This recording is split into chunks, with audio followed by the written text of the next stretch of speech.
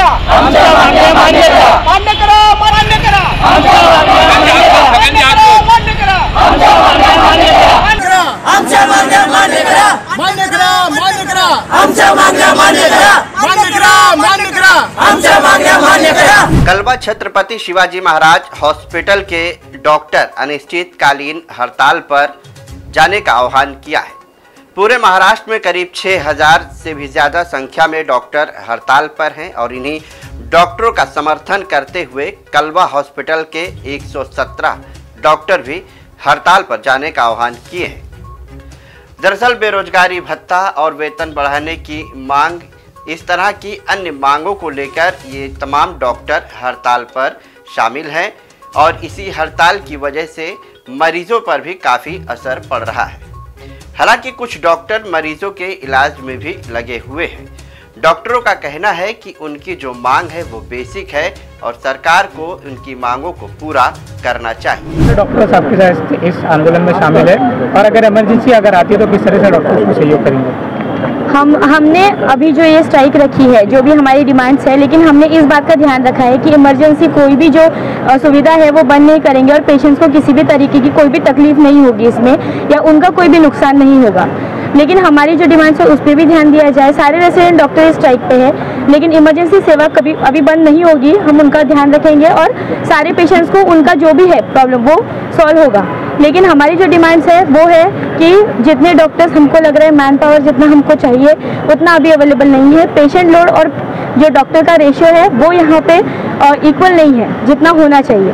Plus जितना काम हम यहाँ पे कर रहे हैं, बाकी हॉस्पिटल में भी रेसिडेंट डॉक्टर उतना ही करते हैं, जितना हम यहाँ पे काम कर रहे हैं। Twenty four hours duty night duty everything तो उतना हमें भी जो मुबदला है, वो मिलना चाहिए।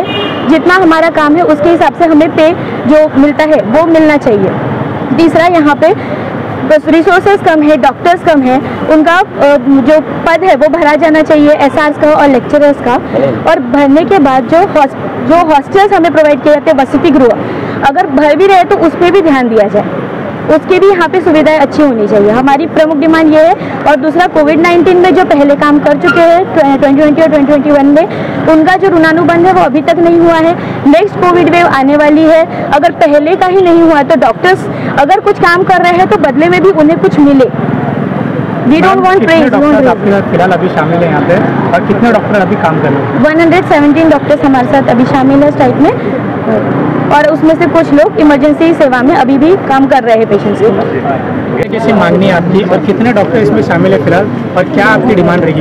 देखिए आपके माध्यम से मैं थाने की जनता और ये जहाँ तक भी जाएगी ये बात ये बात पहुँचाना चाहता हूँ कि हम जो ये अपनी स्ट्राइक कर रहे हैं जो हमारा संप है इसका किसी भी तरीके से गलत मतलब ना निकाला जाए। हम हमारा जो संप है अभी आप देखेंगे आप सब समझदार हो गए हैं डिजिटल मीडिया का टाइम है इस टाइम सब आप देख सकते हैं कि एक एक कितने पेशेंट पे कितना डॉक्टर्स होने चाहिए।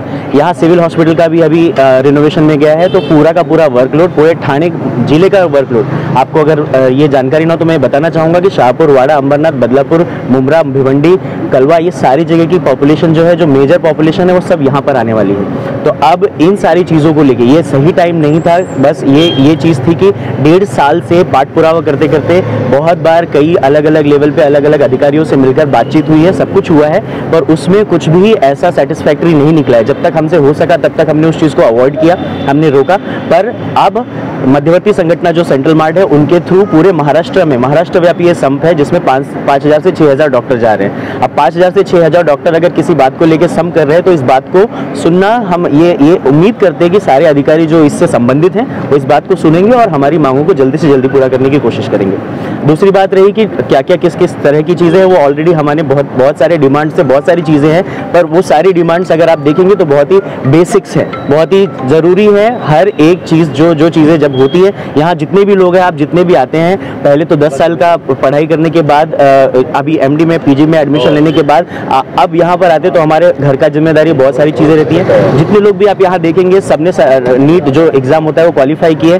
सब लोअर मिडिल क्लास और ऐसी फैमिली से बिलोंग करते हैं जहाँ पर घर की ज़िम्मेदारी संभालने की बहुत एक तरह से पूरा लोड रहता है। ये सारी चीज़ें देख के तो जो मिनिमम हमारी रिक्वायरमेंट है कि अगर बाकी महाराष्ट्र में, महाराष्ट्र शासन ने ही अगर बोला है कि सारे निवासी डॉक्टर को छिहत्तर हज़ार रुपये मिलने चाहिए, चौहत्तर हज़ार रुपये जो मिलना चाहिए, मानधन, विद्या वेतन होता है, वो मिलना चाहिए तो हमारे यहाँ कम क्यों है? और अगर कम क्यों है तो उसके ऊपर जो चीज़ें चाहिए, उस चीज़ को पूरा किया जाए, उसका, उसको सही समय पर पूरा किया जाए। एक एक सिंपल सी कहावत है justice delays is justice justice delay is justice denied अगर किसी न्याय में देरी हो रही है इसका मतलब न्याय अन्याय हो रहा है तो वो चीज़ यहाँ पर हो रही है काफ़ी दिनों से ये चीज़ चल रही है। कुछ पत्र द्वारा किसी को मांगी हमने बहुत सारी है हम आपको वो सारी चीज़ें दिखाएँगे। जब से ये हुआ है जब से ये सारी चीज़ें हो रही है पिछले साल से लेके अभी मैं आपको उदाहरण दूँगा कोविड ऋणानुबंध। महाराष्ट्र शासन ने हमारे कोविड काम के लिए प्रोत्साहन के तरीके से, क्योंकि कोविड के समय पे हमारा पूरी तरह से एकेडमिक लॉस हुआ था। हमारे जो पढ़ाई थी वो पूरी लॉस हो गई थी तो उसके लिए महाराष्ट्र सरकार ने हमें प्रोत्साहन के रूप में एक लाख इक्कीस हज़ार की अनुमति दी है। सारे महाराष्ट्र के सारे विद्या, महाविद्यालय जितने हैं, सब जगह पे वो चीज़ मिल चुकी है। पर अभी तक थाने महानगर पालिका में उस चीज़ को इम्प्लीमेंट नहीं किया गया है। अभी तक इक्यासी डॉक्टर्स हैं जिनको वो एक लाख इक्कीस हज़ार की रकम नहीं मिली है। वो एक लाख इक्कीस हज़ार की रकम हम अपने फ़ायदे, पार्टी करने के लिए नहीं, वो हमारा फ़ीस है ट्यूशन फ़ीस हमें जमा करनी। है आप बताइए, पढ़ाई नहीं तो ट्यूशन फ़ीस क्यों किस बात की? तो उसी को ध्यान में रखते महाराष्ट्र शासन ने वो किया। उसके लिए हम आभार व्यक्त करते हैं, पर उस उस चीज़ को यहाँ पर महापालिका में भी वो चीज़ जल्दी से जल्दी हो, इसका भी हम, एक एक्सपेक्टेशन एक आस रखते हैं कि हाँ ये भी चीज़ जल्दी से जल्दी होनी चाहिए।